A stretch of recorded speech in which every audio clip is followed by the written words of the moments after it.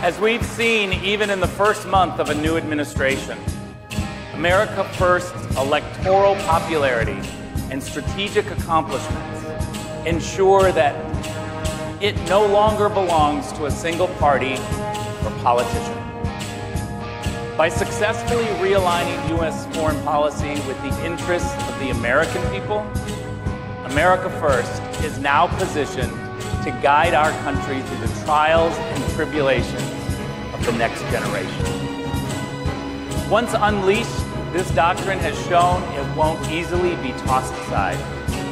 The American people demanded a part in the democratic process of formulating foreign policy.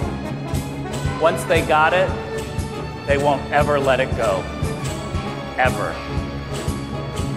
Previous administrations have tried to limit the American people's participation in deciding what kind of foreign policy this country should pursue. They delegated it to unelected technocrats and career bureaucrats with the help of lobbyists and others with financial interests overseas.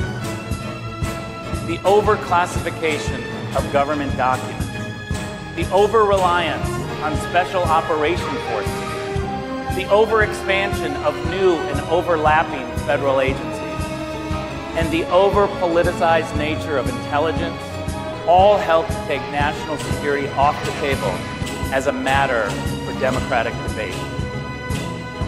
There is still a group of foreign policy, foreign policy professionals who want to restore this old way of doing things they tell us we can't understand the complicated issues, so they don't share all of the information with us. They tell us other countries will fail and fall if we don't send more U.S. troops.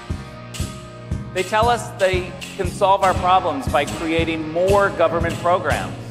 And they tell us there will be another war in the Middle East if we move our embassy to Jerusalem.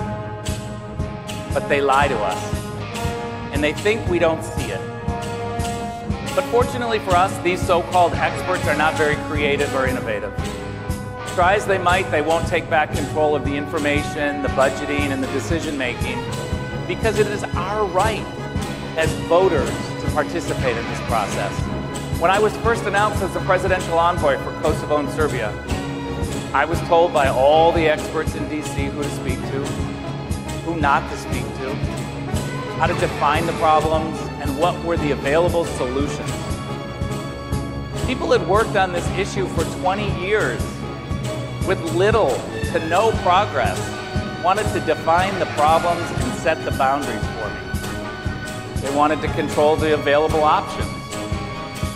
So instead, I spoke to people on the ground, business leaders in Belgrade and Pristina, who create jobs, reporters from the region who cover the issues up close, officials who have staked their lives and credibility on what for them are life and death issues. And what they all told me was to forget the intractable political problems that dominate headlines in Washington, D.C. and Brussels. Instead, they told me, concentrate on economics, concentrate on jobs, opportunity, education, upward mobility, and the free flow of people and goods. If I had listened to the experts in DC and Brussels who never would have made, we never would have made the breakthrough of 2020. The first economic normalization agreement in a generation. This is a fight between the insiders and the outsiders, between Washington, D.C. and the rest of America. Of course, if things get really bad with elected officials, there's always the option to recall them.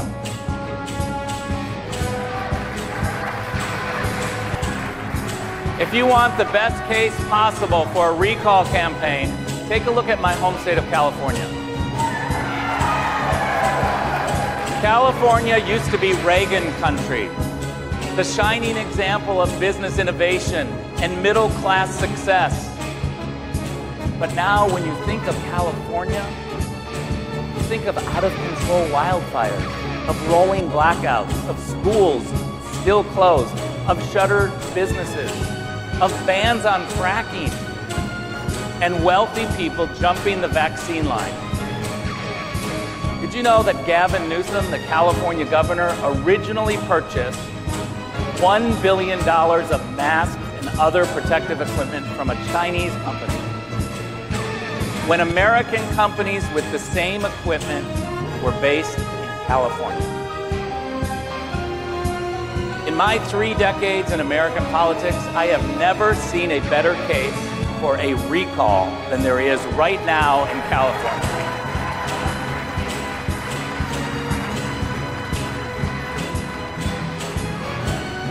And of course, if a public official is still failing to deliver on their promises, and if you can't limit their term or recall them in time, there's always one other option. You can run against them yourself. Thank you very much.